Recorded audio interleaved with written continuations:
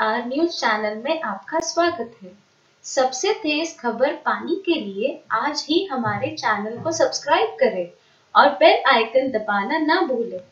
UP में लोकसभा चुनाव का असर दिखने लगा है। सपा बसपा गाठजोड़ होने के बाद चुनाव की सरगर्मियाँ और बढ़ गई हैं, जिसका असर ज़िले के गाजीपुर में देखने को मिला, जहाँ लोकसभा चुनाव के मद्देनजर सपा ने सामाजिक न्याय पद यात्रा निकाली 9 जनवरी को गाजीपुर जिला मुख्यालय से निकाली गई सपा की पद यात्रा सैदपुर इलाके में पहुँची। गाजीपुर से निकाली गई सपा की सामाजिक न्याय यात्रा पूर्वांचल के विभिन्न जिलों से गुजरते हुए 24 जनवरी को बलिया पहुंचेगी।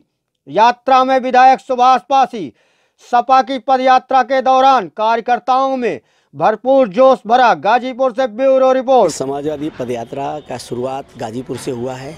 और गाजीपुर से होते हुए नंदगंज सैदपुर सिधौना, देवकली औड़ियार उसके बाद में आपका चौबेपुर चौबेपुर से बनारस बनारस से बाबतपुर बाबतपुर से जौनपुर, आजमगढ़, घोसी, ऐसे होते होते ये पदयात्रा बलिया में इसका समापन होगा 24 तारीख को।